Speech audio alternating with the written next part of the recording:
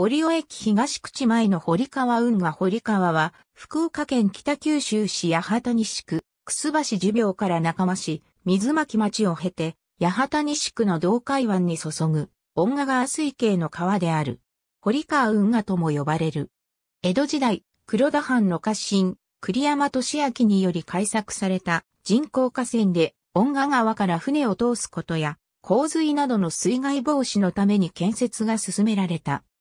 1621年に着工され、100年長の中断後1762年に開通し、その後1804年、楠橋寿命に新たな水門を設置、道海湾まで全長 12km の堀川運河が開通した。1891年に鉄道が開通するが、筑豊丹田から若松港への石炭輸送に鉄道とともに堀川の川平田輸送が重要な役割を果たした。明治33年に通船数13万を超え最盛期であった。その後大正以降も続き、昭和13年頃に石炭輸送運河としての役目を終えた。2007年11月30日には近代化産業遺産に認定された。また2019年に文化庁の歴史の道百選に選定された。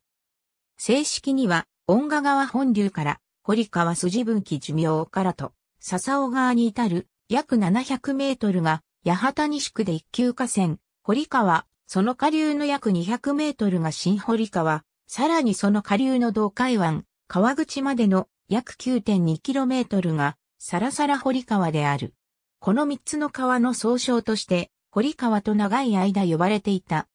八幡西区堀川町の折尾駅東口のロータリー付近は暗渠になっている。折尾地区の沿岸には昔ながらの店が軒を連ねる。また、不法投棄が後を絶たず、自転車や電化製品などが放棄されている。そのため年に数回程度、近隣の住民や大学生により堀川清掃が行われる。さらに、外来生物であるスクミリンゴ貝が数多く繁殖しており、夏から秋にかけて産卵を行うため、コンクリート等に赤い卵が目立つようになっている。